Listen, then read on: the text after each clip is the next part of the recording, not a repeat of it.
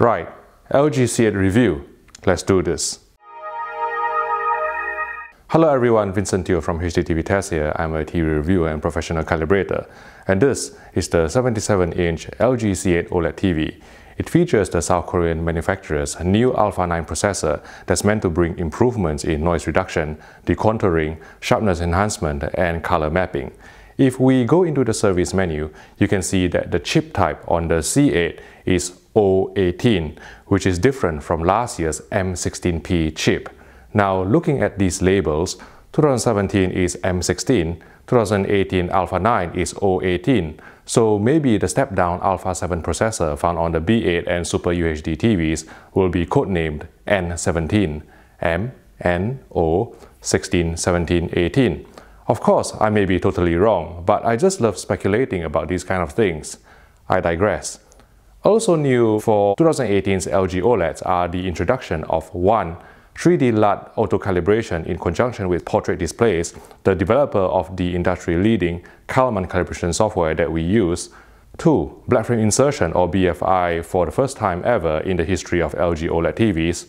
3. The ability to playback high frame rate or HFR videos at 120 frames per second through the internal apps and USB, but not over HDMI.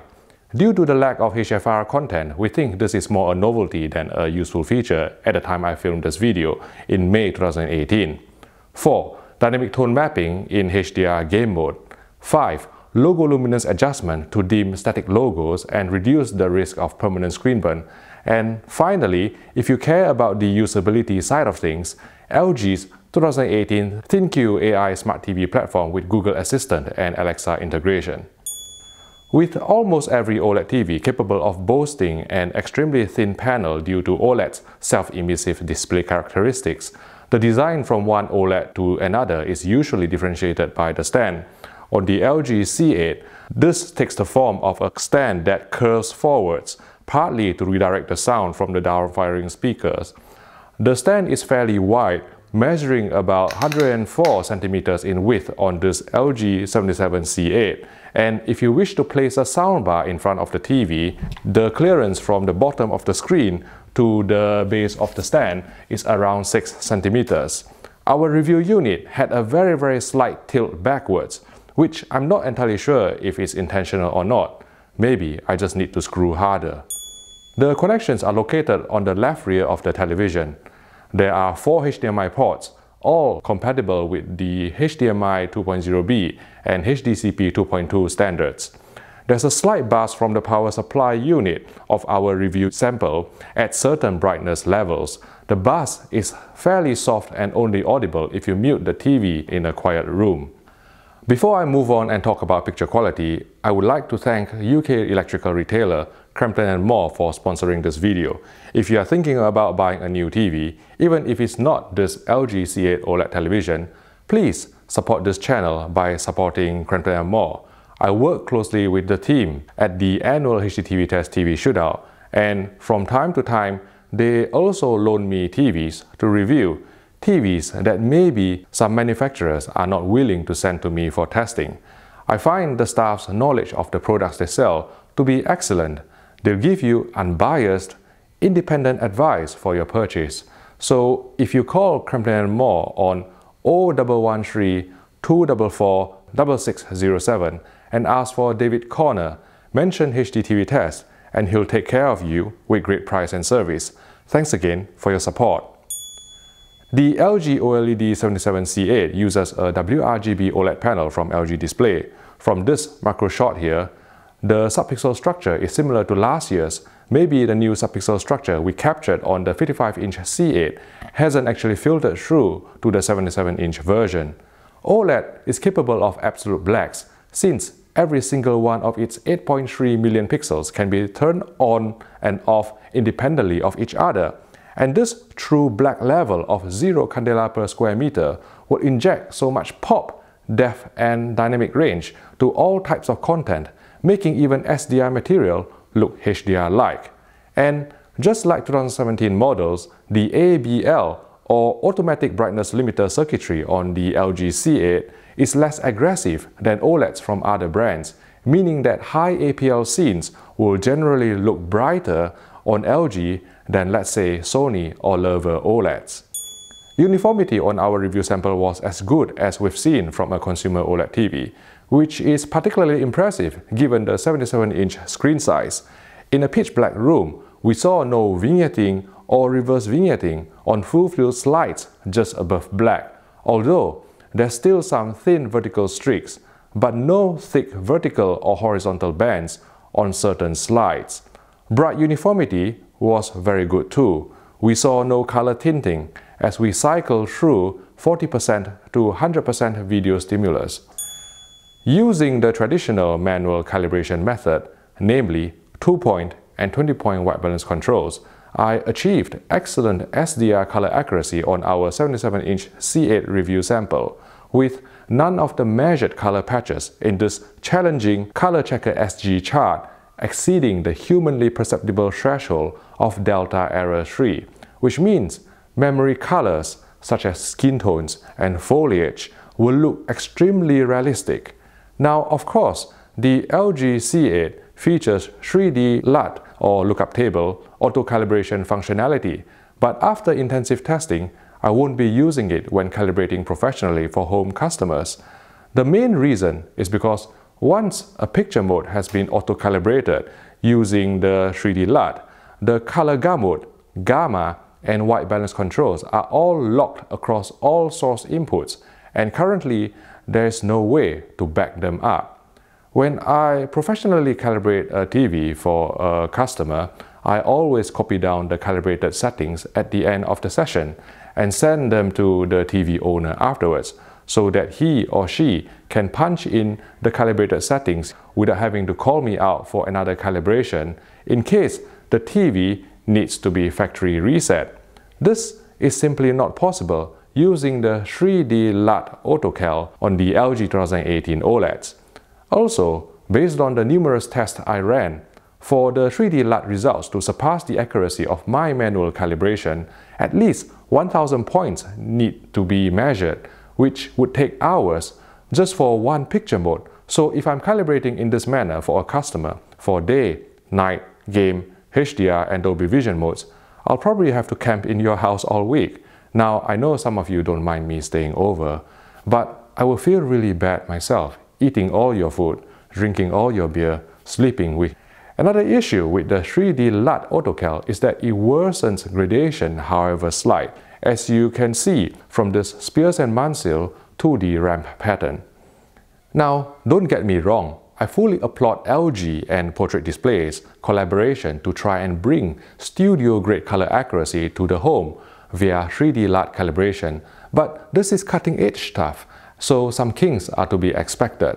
I am providing feedback to both LG and Portrait Displays to iron out these kinks so things will improve in the future. At this moment though, if someone asks me to calibrate a C8, E8 or W8, I'll be doing it manually. I'm 100% confident that through my equipment, experience and expertise, stunning color accuracy can still be achieved this way. After LG improved the motion performance on the 2017 OLEDs following a firmware update, I'm not really seeing any significant difference in the native 24p handling and frame interpolation of the C8 versus the B7 or C7. The key differentiator here is clearly the addition of black frame insertion on the 2018 models. Now, just like what we witnessed on 2017's Panasonic and Sony OLEDs, black frame insertion on the LG C8 is not the be-all and end-all we had hoped for. Yes, engaging BFI via the Motion Pro control improved motion resolution, but only up to the OLED ceiling of 650 lines according to this horizontally scrolling test pattern. In bright scenes, some flicker is visible, which may put off even hardcore BFI fans like myself. For 24 frames per second content, the BFI operates at 60 Hz, so some telecine judder would be introduced. But to be fair, I don't really see the point of using BFI for low frame rate material such as 24p movies since there's inherent blur in the content anyway. Also, the way LG has implemented BFI in the TrueMotion user submenu means that some frame interpolation is still being applied even with both the judder and the blur set to zero, as you can see from the interpolation artifacts, however subtle they may be around Del Potro's face. I'm pulling my hair out here. The whole point of BFI is to avoid using interpolation in the first place. Now, in game mode, frame interpolation is disabled by default, so BFI can be used to boost the motion clarity of 60 frames per second games, and it looks beautiful. Upscaling on the LG C8 is slightly sharper than the 2017 B7 based on this SMPTE RP133 test pattern, but it could be because of the different overscan crop used by LG for 576i video signal. In any case, the difference is certainly not night and day. What's more interesting is the new decontouring filter within the Alpha 9 processor that's designed to reduce in-source posterization similar to the smooth gradation feature on Sony televisions. It does work. Enabling the decontouring filter results in smoother gradation in the sky of the Martian. Unfortunately though, LG put the decontouring filter under the MPEG noise reduction control, which also performs spatial noise reduction. So while engaging MPEG noise reduction did smooth out posterization in the sky, it also reduced some fine detail on Matt Damon's face. As a purist, I will on principle not use it, but if you are not as anal as me, MPEG noise reduction can come in useful for bit-starved content with lots of posterization or macro blocking. After calibrating to D65 white point, peak brightness measured 700 nits on a 10% window and DCI-P3 color gamut coverage was 98%. Both parameters are in keeping with a WRGB OLED panel not using the new subpixel structure. Full field peak brightness was only 117 nits rather than the 150 nits we usually get. Maybe it's because of the much larger 77-inch screen size. The dynamic tone mapping function works similarly to dynamic contrast low on 2017 LG OLEDs. You should see most intervention in 4000 nit content, either retaining specular highlight detail.